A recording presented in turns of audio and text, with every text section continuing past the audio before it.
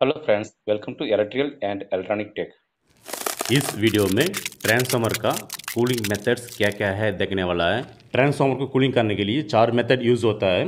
O N A N O N A F O F A F O F W F आप transformer name plate में देखा होगा, वैसे cooling बोल कर दिया रहता है। इसमें देखिएगा ओ एन ए एन दिया हुआ है और इस ट्रांसफार्मर में देखिएगा ओ एन ए एफ़ दिया हुआ है, ठीक है?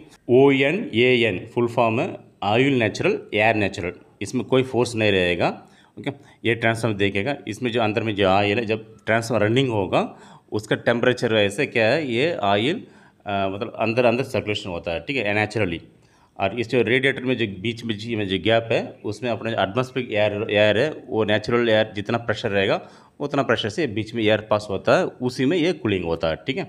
इसलिए oil natural air natural O N A F oil natural air forced okay इसमें देखिए ऑयल नेचुरल ये जो तेल है, वो अपना टेम्परेचर हिसाब से वो अपना जो भी नेचुरल जो प्रेशर है, उसमें घूमता है, ठीक है रेडिएटर और टैंक पे। और एयर फोर्स्ड ये रेडिएटर नीचे एक फ़ैन लगाता मतलब एक नहीं है जितना फ़ैन लगा रहता है ऑयल तो नेचुरली जितना प्रेशर उसमें घूमता है, लेकिन हम लोग फोर्स एयर को क्या करता है फोर्स करता है फ़ैन के थ्रू ठीक है। तो ये इसमें क्या फ़ैन जो रोटेट होगा, जो फोर्स एयर है, वो रेडिएटर को क्रैश करके जाता है।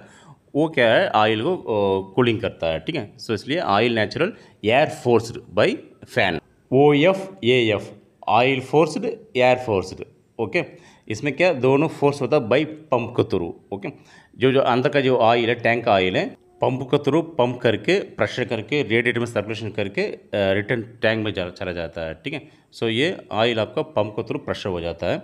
और नीचे फ़ैन लगा रहता है ठीक है? वो फ़ैन क्या है? एटमोसफेयर के एयर है? उसको प्रेशर करके, ये रेडिएटर क्रॉस करके फ्लो करा जाता है, ठीक है? सो क्या है? ये ऑयल भी यहाँ पे पंप को तो प्रेशर है और एयर भी फ़ैन के थ्रू प्रेशर है ओके दोनों इसमें ला के कूलिंग करता है तेल को। O F W F oil forced water forced इसमें इस ट्रांसफॉर्मर में क्या है? रेडिएटर नहीं रहेगा हीट एक्सचेंजर बोल कर रहेगा। हीट एक्सचेंजर अंदर में क्या बहुत ट्यूब ट्यूब रहता है, ठीक है? वो ट्यूब में क्या है, तेल जाके ऐसे ऐसे घुमा के रोटेट होके फिर रिटर्न आ जाता है टैंक पे और उसका सराउंडिंग में पानी घूम के वो रिटर्न चला जाता है कूलिंग टावर पे, ठीक है? सो इसमें क्या है आप ऑयल पंप को थ्रू प्रेशर करके हीटर से घूम के फिर टैंक रिटर्न आएगा। तो उसको ठंडा करने के लिए कूलिंग वाटर वो कूलिंग वाटर एक पंप को थ्रू प्रेशर करके पूरा हीटर से घुमा के फिर आउटलेट जाएगा कूलिंग टावर में, ठीक है? तो क्या करेगा तेल का जो टेम्परेचर है वो पूरा पानी में ट्रांसफ़र होकर तेल ठंडा हो जाता है, ठीक है?